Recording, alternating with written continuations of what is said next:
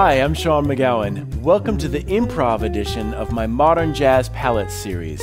When improvising in a modern jazz setting, guitarists need to call on a more sophisticated palette of improv concepts and creative soloing options than what is needed for traditional jazz performances. Grab your guitar and let's dig in.